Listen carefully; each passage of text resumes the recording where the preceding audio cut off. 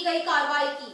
उत्पाद विभाग की पुलिस द्वारा अवैध महुआ चुलाई शराब भट्टियों के खिलाफ शनिवार को अभियान चलाया गया।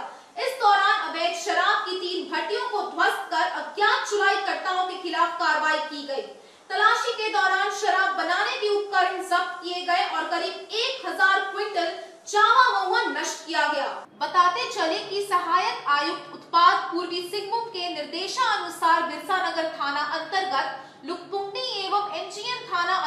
छोटा मांकी में उत्पाद विभाग की पुलिस द्वारा छापामारी कर तीन अवैध महुआ चुलाई शराब भट्टियों को ध्वस्त कर दिया गया। शराब चुलाई हेतु रखा करीब एक हज़ार क्विंटल जावा महुआ को घटनास्थल पर नष्ट कर दिया गया, एवं बना हुआ शराब करीब 200 लीटर को बरामद कर जब्त किया गया। तीन अवैध शराब कार्यकर्ताओं के विरुद्ध फरार अभियोग दर्ज किया गया है। दिन भर की ताज़ा अपडेट्स के लिए बने रहे हमारे साथ